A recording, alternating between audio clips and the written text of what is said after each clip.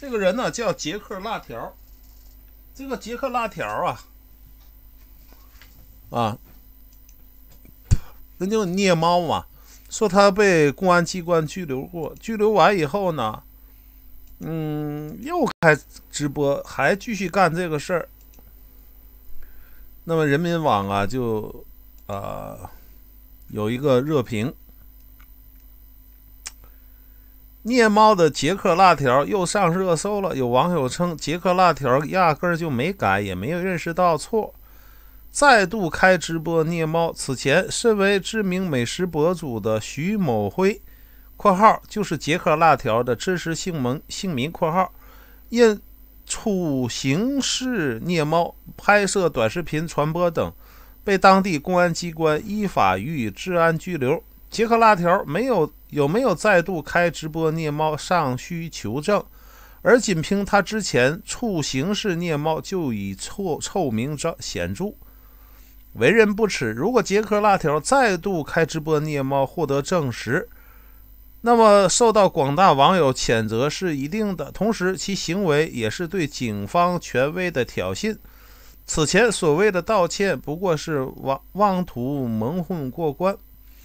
杰克辣条不但虐猫，还拍摄短视频在 QQ 群分享，这是警方通报提供的信息。杰克辣条所在的群里还有很多人虐猫，他们以虐猫为能事、为乐事，以分享虐猫心得为常事，并且大肆污名化爱猫人士。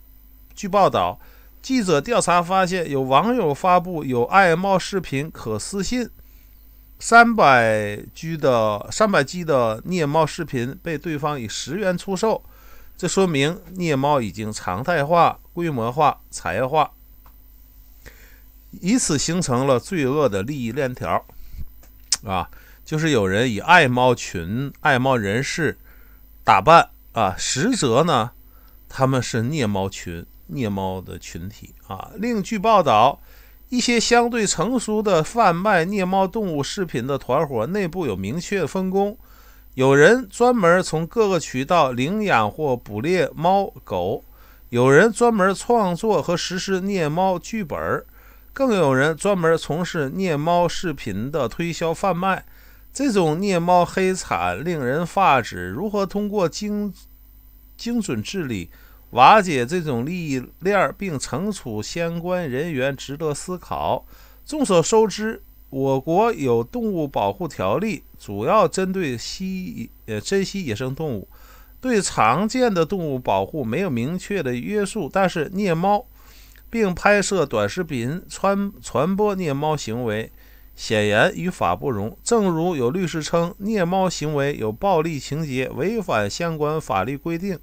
公安部门是可以根据情节的严重程度来进行治安拘留、进行罚款、进行训诫、进行警告。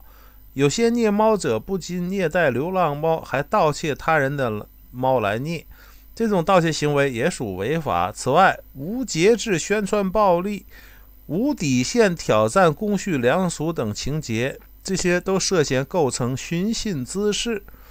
可以不爱，请勿伤害。有人爱猫爱狗，有人不喜欢猫狗，这很正常。但是不爱猫和狗，不等于要虐待它们。善待生命，这是为人的底线。以极端残忍的方式来虐待小动物，不管出于何因，都是不可原谅的。今天我们提尤其提倡和谐共生、美美与共，无论对环境、自然还是对小动物，都应有敬。畏之心，而不是破坏它们、伤害它们。农村农业部曾表示，动物保护问题涉及产业发展、民俗、民族习俗、宗教习俗、伦理道德等复复杂因素，全面提高动物保护水平，应是一项艰巨而长期的系统性工作，需要全社会共同努力。诚言，保护动物却是一个漫长的阶段，但是。我们完全可以做到不虐他们、不害他们，特别是传播虐他们、虐待他们的视频。触极刑虐猫有可证，这是向人类良良知挑战，与现代文明背道而驰。反对虐猫、反对传播虐猫的视频，也是呵护人类的善意。创设创创造良好的生存空间。试想，如果容忍暴力行为肆虐，我们还有安全感吗？我不知道为什么读这一段的时候，看他们报道的时候啊，老胡的视频在这里，我始终没舍得删他。我说的意思就是，这个这个的杰克辣条和老胡有很多相似之处。